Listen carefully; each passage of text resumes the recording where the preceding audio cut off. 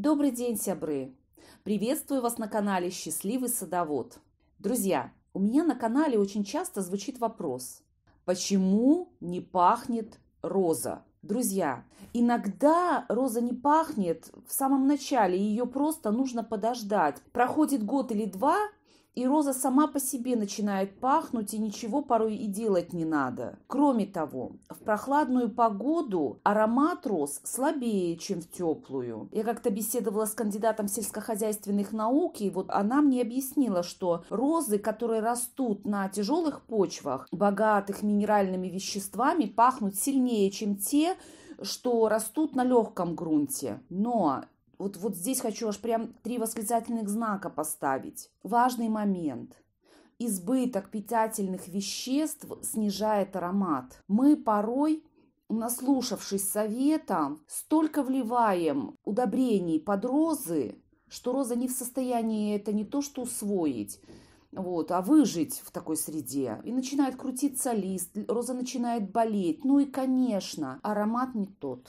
И еще один важный момент. Некоторые розы душистые при распускании, другие при полном раскрытии. А вот в дождь или на ветру почти все розы, так сказать, молчат. Думаю, каждый из вас обращал внимание на то, что темные розы пахнут сильнее. А еще розы с такими, знаете, толстыми лепестками пахнут сильнее тех, у которых такие нежные, тоненькие лепестки. Друзья, поэтому давайте сейчас сделаем вывод, исходя из того, что я сказала ранее.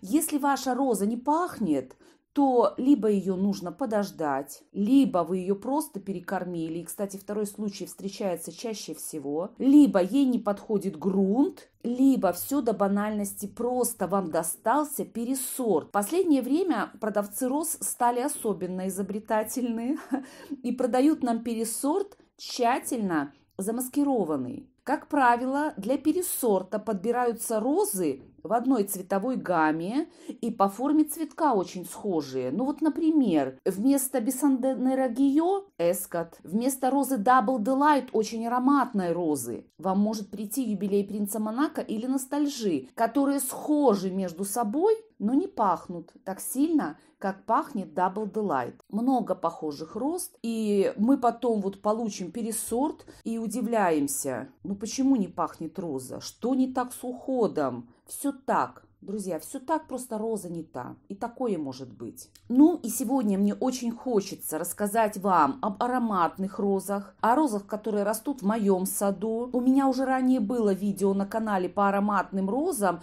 и вот сейчас вы видите отсылку на это видео на экране. Розы из первой подборки очень ароматные, но я повторяться не буду. Кто хочет, можете посмотреть первое видео. Эти розы до сих пор меня балуют своим ароматом. Кроме того, у большинства из них превосходные характеристики, и розы больше радуют, и аромат – это огромный бонус в характеристике розы. Сейчас я расскажу о розах, которые не учла в прошлый раз, а вас хочу попросить поделиться сортами ароматных роз в вашем саду. Ну и начну с ароматного бриллианта в моем саду, это Бенджамин Бриттон. И пусть говорят, что Джудзе Обскюр – это сокровище парфюмерного мира, но Бенджамин Бриттон пахнет сильнее и приятнее. Ну вот простите, мне это субъективное мнение. Бенджамин пахнет с ног сшибающе, он обволакивает ароматом. Он накрывает весь мой сад ароматом, всю улицу и еще и моих соседей. Не знаю, слышали ли вы научные исследования о том, что люди, которые регулярно вдыхают розовый аромат, намного доброжелательнее, они ненавязчивые и обладают ровной светлой аурой. Кроме того, аромат цветка розы помогает выбраться из депрессии. Думаю, вы поняли, что у меня с соседями очень хорошие отношения. И, конечно же, огромный вклад в наше душевное равновесие внес Бенджамин Бриттон. Высоту он достигает в пятой климатической зоне 2 метров. Если вы живете южнее, то он с легкостью достигнет и 3 метров. Цветок в диаметре где-то около 10 сантиметров. Цветок держится 5 дней. Дождь для него не проблема. А вот знаете, такое пекучее ядреное солнце 40+. Роза переносит удовлетворительно, но может подпекаться. Могу вам порекомендовать очень интенсивный полив этой розы в жаркие дни. Долго думала, включать в перечень или не включать розу сорта солита, потому что у нее очень спорный аромат. Вот распускается один цветок, подойдешь, понюхаешь, ну, умеренный, очень умеренный запах. Но когда цветов много, она с легкостью составляет конкуренцию польки по интенсивности аромата. Диаметр цветка розы солита где-то 10-12 сантиметров. И цветок у плетистой розы формы чайно-гибридной розы. У меня с такими же характеристиками роза эльф. Плетистая роза с цветком чайно-гибридной розы. Вот и у солиты тоже. Плетистая роза с цветком чайно-гибридной розы. Очень элегантный, красивый цветок, необычной цветовой гаммы. У него какой-то такой такой безумный оранжево-красный цвет, да еще и с таким отцветом коралловым. Роза даже когда выгорает, выглядит очень красиво. У нее появляется какой-то такой темно-розовый оттенок. Ну, вы не волнуйтесь, все равно это смотрится очень привлекательно. Диаметр цветка розы солита где-то около 10 сантиметров, может быть и 12 сантиметров. Вот она цветет обильно и практически непрерывно. Это очень мощный куст, Куст может быть и 3 метра на 3 метра, а может быть и больше, поэтому имейте в виду, солите нужно много места. Роза отлично зимует, очень устойчива к мучнистой росе, но, друзья, она поражается черной пятнистостью, это первый ее недостаток. И еще один важный момент, на который хочу обратить ваше внимание. Друзья, если вам нравится удобрение плантофол, то вот мимо солиты с плантофолом проходите смело, потому что если вы покормите солиту по листу удобрением плантофол, она обязательно заболеет. Проверено на практике, правда. Я в этом году попробовала. Роза солита не любит обработки по листу удобрением плантофол. Это одна из самых ярких плетистых роз. Ну, а ее аромат – это такой приятный бонус. Big Purple. Роза с очень крупными цветами. В диаметре они достигают иногда 16 сантиметров. Очень красивого фиолетового цвета. С очень сильным ароматом. В аромате я чувствую розовое масло и еще какие-то освежающие нотки. Свой цветок роза держит где-то около 5-7 дней, но на солнце она выгорает. И я посадила ее в полутень, но она и на солнце отличается таким неконтролируемым буйным ростом, а в полутени она у меня с легкостью достигает двух метров. Причем в ширину она очень узкая, сантиметров, наверное, 70. Такая получается долговязая красавица. Она прекрасно переносит погодные неприятности и к болезням относится достаточно спокойно. Вот не лучше и не хуже остальных роз. Но ее главное достоинство – это аромат. Вот если вам нужен какой-то ароматный участок сада, Big Purple туда можно посадить, но имейте в виду, что это такая роза для второго, а то и для третьего плана. Гертруда Джекил. Это одна из наиболее известных роз английской селекции Дэвида Остина. Она не требует ухода там какого-то специфического. И чтобы показать ей себя во всей красе, Просто дайте ей место на солнце. Кстати, это очень важное условие. Гертруда будет плохо расти в полутени или где-то в затененном участке, частично затененном участке. Ей надо вот прям целый день солнца. У нее такие ароматные цветы. Ой, друзья, мне даже порой бывает очень сложно назвать какую-то розу, которая бы пахла сильнее, чем Гертруда Джекил. Правда, у нее такой сногсшибающий аромат. Вот все пахнут нежно, фруктами там, изящно, аккуратно. Гертруда, когда пахнет, это прям, понимаете, под дых удар. Настолько у нее интенсивный аромат. Она прекрасно подходит для того, чтобы ее добавлять лепестки в чай. Из нее получается прекрасное варенье, но имейте в виду, розу нельзя тогда обрабатывать никакой химией, никакими фунгицидами, гербицидами, вот этими вот всеми препаратами. Если вы собираетесь розу использовать в кулинарных каких-то своих целях, все, забудьте о химии. Только органическое земледелие. У розы цветок в диаметре где-то сантиметров 10 и цветки холодного розового цвета со временем чуть так вот выгорают на солнце, но по-королевски изящно выгорают. Гертруда Джекил очень аккуратно выгорает и не мучает глаз своим неопрятным цветком. Есть недостаток, друзья. Роза держит свой цветок, ну, три дня. Самый оптимистичный прогноз 5 дней, но это бывает очень редко, когда небо пасмурное, когда больше дождей, чем солнца. Вот в этом году у меня получилось так э, понаблюдать за цветком розы Гертруда Джекил 5 дней, но это скорее исключение, чем правило. Куст должен быть 150 сантиметров.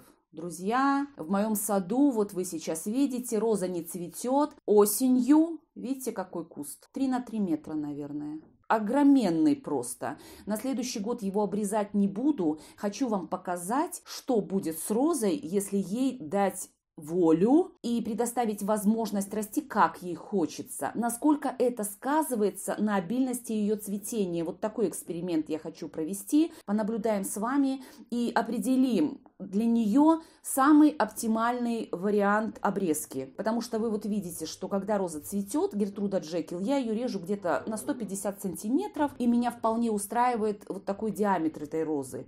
Но если природой заложено вот ее такое интенсивное и стремительное желание расти, ну хорошо.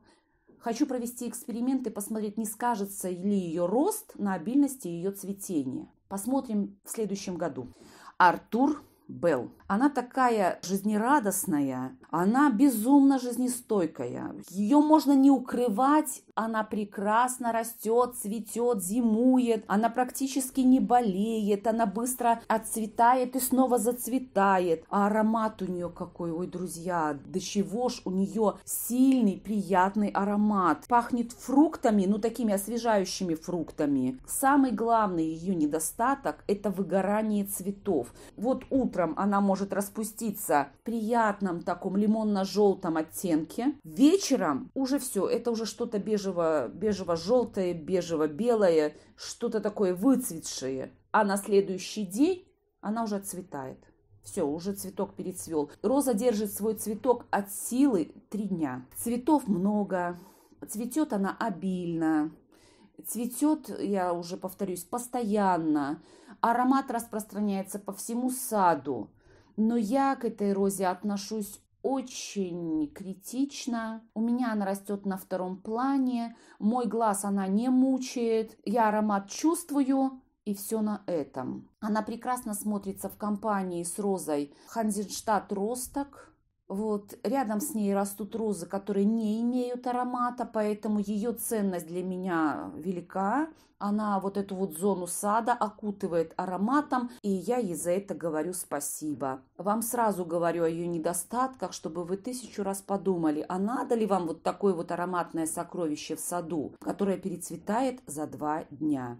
Роза в высоту с легкостью достигает 150 сантиметров, диаметр цветка где-то 10-12 сантиметров. Я знаю, что существует плетистый сорт розы Артур Белл. В моем саду это флорибунда Артур Белл. Вы все знаете, что флорибунды, как правило, не пахнут. Вот Артур Белл – это такое уникальное сокровище розового мира. Фредерик Мистраль. Хорош, вот хорош нет слов.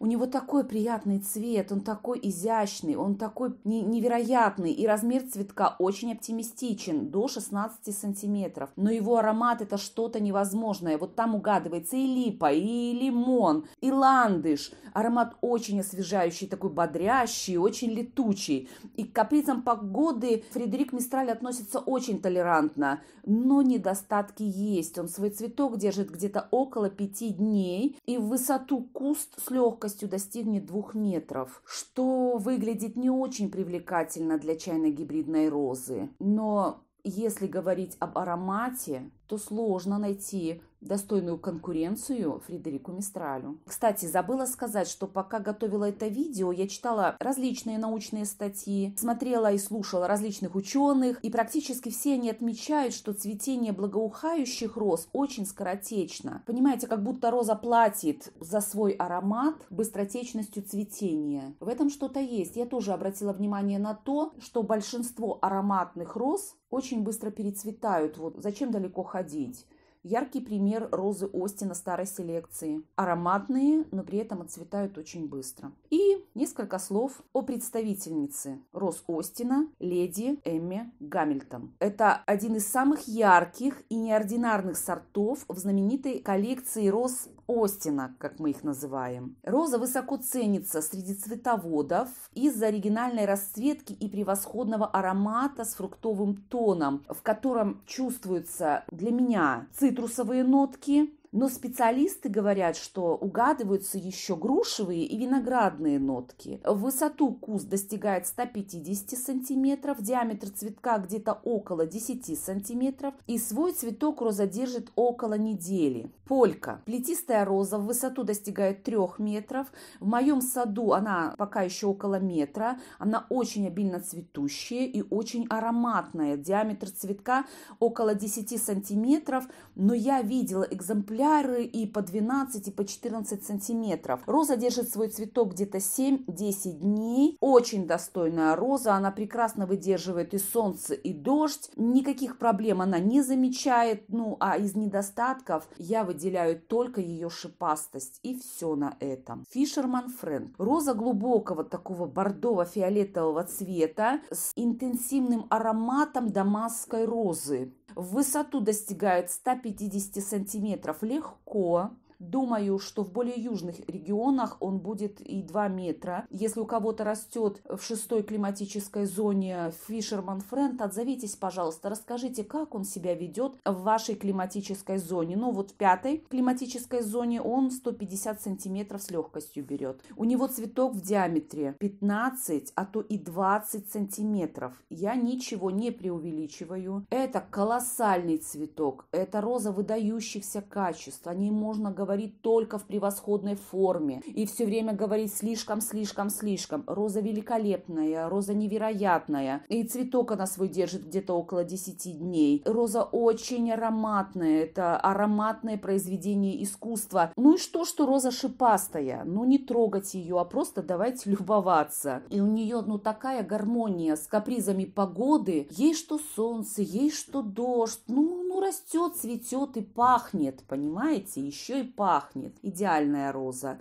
Вот Фишерман Френд – роза для тех, кому хочется всего и сразу. И цветок большой, и надежную, и не болеющую, и ароматную. Вот-вот, это, это она.